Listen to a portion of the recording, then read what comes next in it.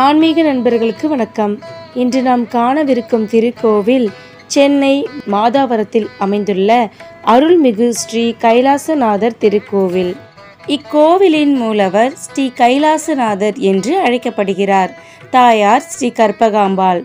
கோவில் கிழக்கு நோக்கிய ஐந்து நிலை ராஜகோபுரத்துடன் பக்கவாட்டு சுவர்களில் ஸ்டக்கோ துவார பாலகர்கள் உள்ளனர். கொடிமரம் பலிபீடம் மற்றும் ரிஷபம் ஆகியவை முகமண்டபத்தின் முன் உள்ளன. கருவறை மண்டப மட்டத்திலிருந்து சுமார் மூன்று அடி உயரத்தில் உள்ளது. மூலவர் சுமார் நான்கு புள்ளி ஐந்து அடி உயரமும் ஆவுடையார் பதினாறு அடி சுற்றளவும் கொண்டவர். சிவலிங்கம் பச்சை கல்லால் ஆனது. கோஷ்டத்தில் விநாயகர் தக்ஷணாமூர்த்தி மகாவிஷ்ணு பிரம்மா துர்கை ஆகியோர் உள்ளனர். அம்பாள் கற்பகாம்பாள் முகமண்டபத்தில் தெற்கு நோக்கிய தனிச்சன்னதியில் இருக்கிறாள். முகமண்டபத்தில் அம்பாள் சன்னதியில் சிவகாமியுடன் நடராஜர் பள்ளியறை பனிரெண்டு திருமுறை சூரியன் சந்திரன் மற்றும் பிரகாரத்தில் விநாயகர் நால்வர் பனிரெண்டு ஜோதிர் லிங்கங்கள் சோமநாதர் மல்லிகார்ஜுனர் மகா காளேஸ்வரர் ஓங்காரேஸ்வரர் வைத்தியநாதர் பீமநாதேஸ்வரர் ராமநாதேஸ்வரர் நாகநாதேஸ்வரர் விஸ்வநாதேஸ்வரர் திரியம்பகேஸ்வரர் கேதாரேஸ்வரர் குங்குணேஸ்வரர் குன்குனீஸ்வரர் ஆஞ்சநேயர் மற்றும் பைரவரும் உள்ளனர். ஒரு ஆகாசலிங்கம் மற்றும் ஒரு நாகர் கோவிலுக்கு வெளியே நிறுவப்பட்டுள்ளது. கோவில் வளாகம் கருவறை அந்தரளம் மற்றும் முகமண்டபம் ஆகியவற்றை கொண்டுள்ளது. கருவறையின் நுழைவு வாயிலில் ஸ்டக்கோ துவார பாலகர்கள் உள்ளனர். அம்பாள் சந்நிதி வாசலிலும் ஸ்டக்கோ துவாரபாலகி காணப்படுகிறாள். கருவறை உயர்த்தப்பட்ட உபனையில் உள்ளது. கருவறையில் மூன்று அடுக்கு ஸ்டக்கோ வேசர விமானம் உள்ளது. எந்த கட்டிடக்கலை பாணியையும் பின்பற்றாமல் கோவில் முழுமையாக புதுப்பிக்கப்பட்டுள்ளது.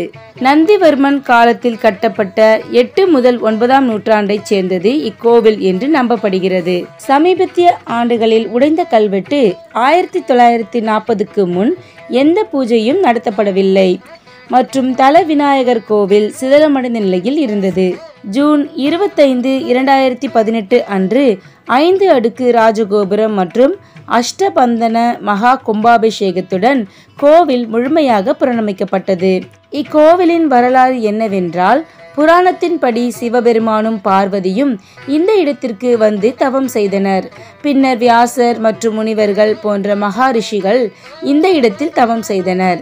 சிவன் பார்வதி மற்றும் மகாரிஷிகள் தவம் செய்ததால் இத்தலம் மகா தவபுரம் என்று அழைக்கப்பட்டு தற்பொழுது மாதவரம் என்று பெயர் பெற்றுள்ளது. மற்றொரு புராணத்தில் நந்திவர்ம பல்லவனுக்கு கிராமங்கள் மற்றும் வணிகர்களில் கொள்ளையடிக்கும் செய்தி வழங்கப்பட்டது. எனவே கொள்ளையர்களை பிடிக்க நந்திவர்மன் இந்த இடத்திற்கு வந்தார்.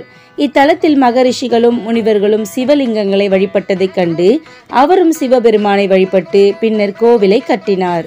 இக்கோவிலின் பிரார்த்தனை என்னவென்றால் திருமண தடைகள் நீங்கவும் குழந்தை பாக்கியம் கிடைக்கவும் பிள்ளைகளின் பேச்சு குறைபாட்டை சரி செய்யவும் சிவன் மற்றும் பார்வதியை பக்தர்கள் வேண்டிக் கொள்கிறார்கள்.